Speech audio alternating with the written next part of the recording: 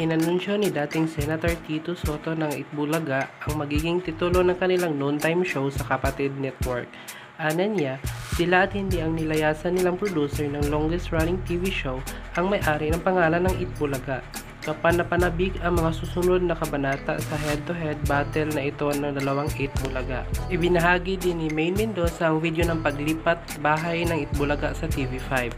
Tuloy ang isang libot isang tuwa, caption niya.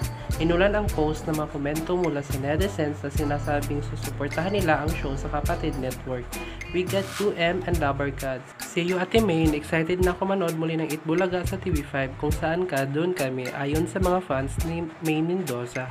Anong masasabi nyo rito? I-comment nyo lang sa ating comment box at huwag kalimutang mag-like, share, comment, and subscribe and click the notification bell para updated kayo sa ating mga vlogs and updates. Thank you!